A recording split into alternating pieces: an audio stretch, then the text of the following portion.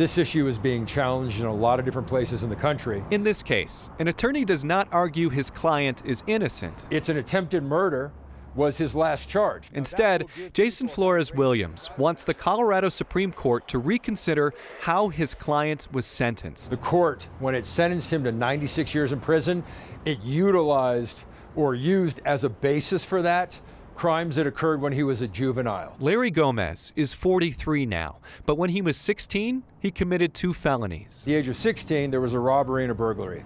That's it. Then came a drug charge as an adult. He was found with uh, 1.1 grams of cocaine. When Gomez was sentenced for attempted murder in 2013, those previous convictions came back to haunt him multiplying his sentence under Colorado's habitual offender law. So if the United States Supreme Court is saying, hey, you know, you, we cannot be giving life sentences for, for juveniles because we acknowledge that juveniles have a different mind, different capacities, don't understand their consequences, then how is it that we can be using juvenile adjudications, right, as the basis to give somebody life sentences? Flores Williams filed a petition asking the state's highest court to weigh in. This issue has not been addressed by lawmakers.